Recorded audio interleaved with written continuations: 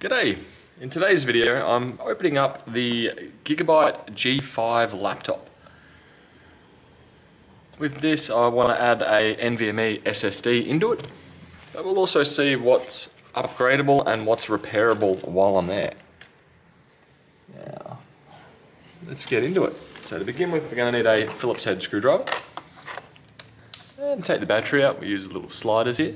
Off the side, off the side. And if you can get a nail under there, nope, I've put that into lock mode. I don't have enough of, of a nail to get that out. There we go. So let's get into it. One screw. I'm going to be curious to see if these screws are all the same size.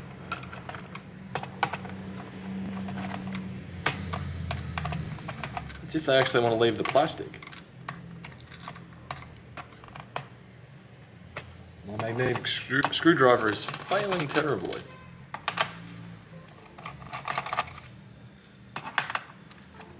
So this one's running a 10500H. And going by those two screws, they're not all going to be the same size. Running a 10, uh, 10500H i5. Also running a RTX 3060. Now I'm not actually sure which variant of 1060 it actually is. So I guess I'll find out soon. There is also two screws in here. There is a third over here for the hinge but I don't believe that's going to be necessary just yet.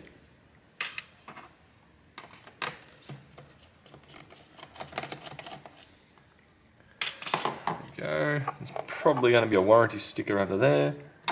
Another screw over here. And here, should be able to separate the back, the bottom from it. Uh, best tool for that. Try my pry pick.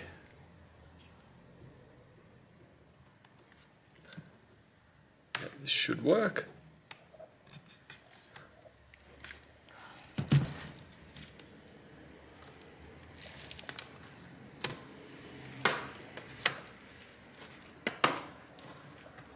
Excellent.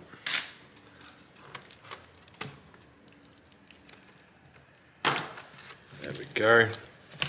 Another screw out over here.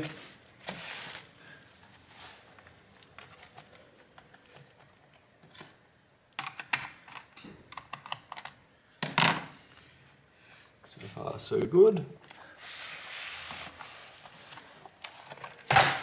There we go. And we are in. So what can we see from here? strangely a slightly disappointment amount of copper coolers. That's what I'm thinking. So I'll start with the boring stuff first. Where are we? Charger port. I'll zoom in here.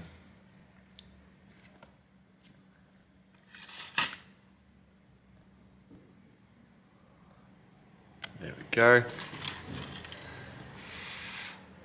So looking at the back here, we have one solder uh, charger port soldered in, which looks very similar to an older Asus charger port, which I do find them quite repairable.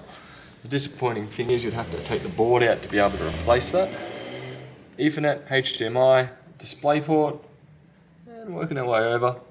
I'm not sure which one would be the GPU and the CPU. I'd probably guess over here would be the GPU, and over here would be the CPU.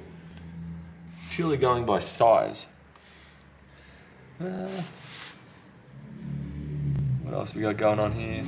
We also have a replaceable wireless card over here. This particular one is an AX200NGW, which I believe is an Intel model as well. Now onwards to the more exciting stuff. Looking over here, we could put in a 2.5 inch SATA hard drive or SSD, depending on what you choose. Going over to here, we have there we go.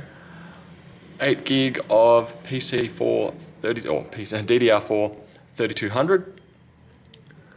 If I can get you guys in focus, sorry about that. There we go. Of Samsung. So upgrading the RAM is very straightforward. You would remove both sticks to put in two 16s. Should be able to slide in on a 45 degree angle and push down. Making sure the notch is here, there, down. Same with over here. No, and also there's no need to disconnect the battery. As to get into the machine, we've already disconnected the battery. And from here, down. So we've got hard uh, 2.5 inch RAM, and over here we've got NVMe. So it looks like we have two available. So excellent. There should be a screw contained in the original packaging when you first bought the machine. So I'm going to install a one terabyte Kingston A200. No, Kingston A2000 SSD into here. And that will be used for benchmarking later on. The installation of this is very similar to the RAM. In, down, screw in. Very similar, not quite the same. Uh, I'm curious what the original brand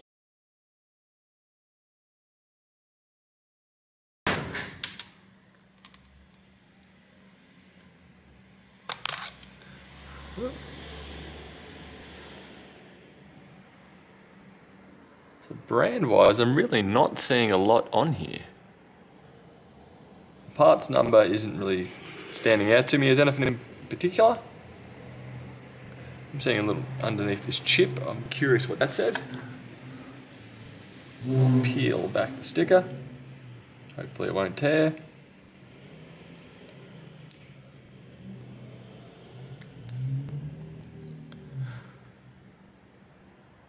Not sure if you guys can read that either. P H I S O N. I can't say I've come across that brand, but looking over on the other side of it, I see a very familiar brand. Over here I see Kingston. Anyway, I'm going to reinstall that back in there. Hmm. Odd placement. Not sure if that's to stop it flexing or the heat from the chips, just another way to transfer it out of there.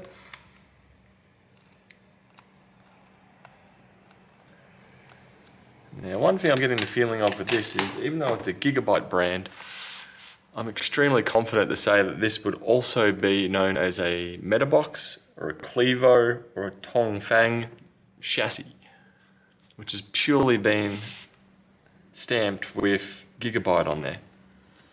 Probably the biggest thing I don't actually like about here is essentially the false advertising. So looking down here, we have WindForce exclusive cooling system.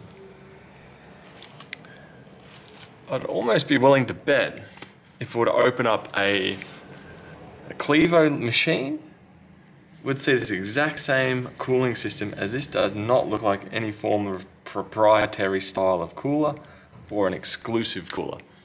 Then we've pretty much only got two copper pipes going from here, one barely touching this GPU over here, and two copper pipes going over here. The design of this is not really that unique.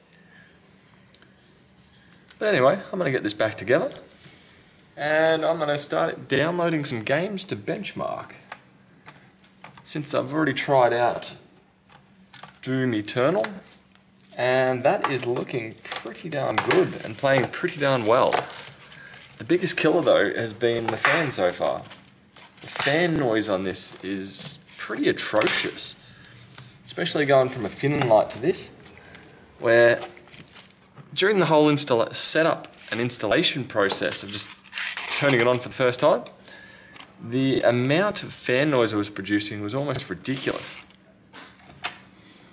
Uh, probably the biggest thing to be cautious of is where you put the longer screws, as the longer screws do go into the hinge. So the longer screw goes, goes here, the shorter screws go everywhere else. Now it's a matter of just putting them all back in. But anyway, that's how to open up your Gigabyte G5 or your potential Clevo laptop, which in the past I've had a Metabox laptop, which is also another brand that uses the same chassis. I had a Metabox Alpha 15 and it was very similar to this in design. So this may help for a few different models out there in the world. Anyway, I'm going to figure out where the remainder of these screws need to go and I'll catch you guys later. Bye. Also the battery in this is very small.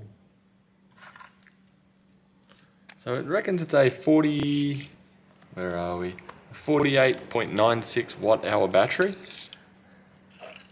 Being that it's only 14 centimeters or close to six inches long by four inches or four centimeters. 40 centimeters, sorry. And five centimeters at the bottom. It is a tiny battery, especially comparing it to a phone. Anyway, that's just another thing to notice.